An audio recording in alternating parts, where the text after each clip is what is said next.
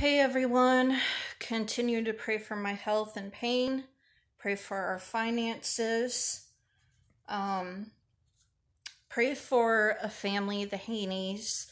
They just recently um, lost their dad, so just pray for them during this time and all his loved ones to get through this time. Um, if you have prayer, let me know so I can pray for you. Worry Less, Pray More, A Woman's Devotional Guide to Anxiety Free Living by Donna K. Maltese. Come out of there, bookmark. New Hope Every Morning. There's one other thing I remember in remembering.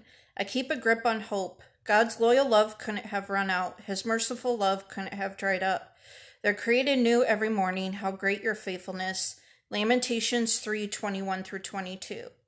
You may find that some wounds seem harder to heal than others, or that some of the same worries keep cropping up. Take heart.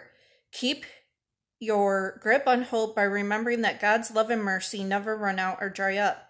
Every morning, your Creator has a new supply that you can access through spending time in His Word, praying, and meditating. Just give God room and time to speak through the Spirit. Open yourself to some new thoughts. God in his faithfulness will meet you just where you need him the most. Lord, in times of doubt, trial, and worry, remind me that you are always there for me with a new supply of love and mercy every morning. Speak deep into my heart, and I will praise your never ending faithfulness to me. Hope you guys have a blessed rest of your Sunday, and God bless.